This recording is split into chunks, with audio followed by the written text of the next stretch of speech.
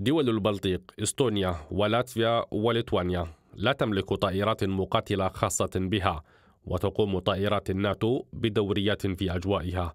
ومنذ بداية الغزو الروسي الشامل لأوكرانيا يقوم أعضاء حلف الشمال الأطلسي بشكل منتظم باعتراض الطائرات الروسية الاستطلاعية والمقاتلة في بحر البلطيق. ومع ذلك أصبحت موسكو الآن تنتهك المجال الجوي لدول الناتو باستخدام الطائرات بدون الطيار الهجومية وقد سقطت إحدى هذه الطائرات مؤخرا على أراضي لاتفيا. ودعا وزير الدفاع الليتواني لوريناس كاشيوناس قوات الحلف بإسقاط الطائرات الروسية بدون طيار التي تشكل تهديدا للمنطقة. يجب على الشرطة الجوية أن تقوم ليس فقط بدوريات في الأجواء بل ينبغي لها أيضا إذا لزم الأمر من اتخاذ القرار على مستوى الناتو بحيث يمكنها أن تقلع على الفور وتدمر الطائرات بدون طيار إذا لزم الأمر. وفي الوقت المناسب. نحن نتذكر ونعلم أن حالات مشابهة قد حدثت في الماضي فقد دخلت طائرات روسية المجال الجوي التركي وتذكرنا رد الفعل حينها.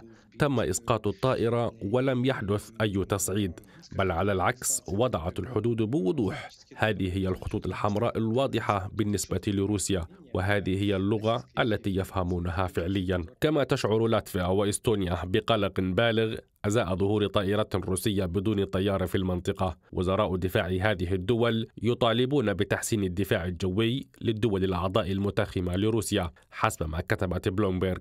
وأكد وزير الدفاع الأستوني هانو بيفكور في مقابلة مع الوكالة أن تعزيز حماية الدول الحدودية سيؤثر بشكل مباشر على أمن أوروبا الوسطى بما في ذلك دول مثل فرنسا وألمانيا.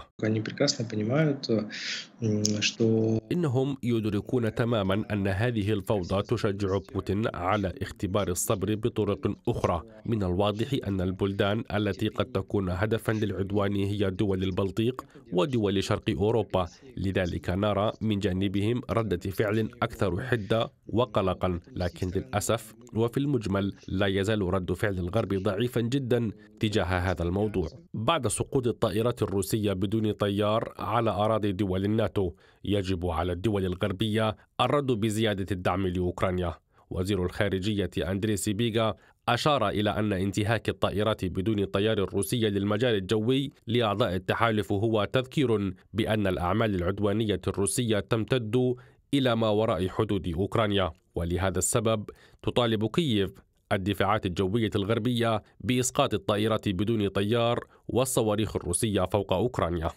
تحتاج أوكرانيا إلى تحرك ملموس من حلفائها، قرار جماعي جريء باستخدام الدفاعات الجوية الشريكة لإسقاط الصواريخ والطائرات بدون طيار الروسية فوق أوكرانيا، ومساعدة عسكرية أقوى وأسرع للجنود الأوكرانيين، وإزالة القيود المفروضة على استخدام الأسلحة من قبل أوكرانيا. لتنفيذ مثل هذه القرارات تحتاج دول الاتحاد الأوروبي وحلف الناتو إلى وقت وتعديلات تشريعية. ومع ذلك فقد بدأت التحركات في هذا الاتجاه بالفعل. فقد تنظر لجنة الدفاع في مجلس الشيوخ الروماني في بعض التعديلات على التشريعات. وفقا لوكالة الأنباء الرومانية ستسمح هذه التعديلات للجيش الروماني بإسقاط الطائرات بدون طيار التي تنتهك المجال الجوي للبلاد. إعداد نيكيتا سكوبليكوف لقناة UATV عربية.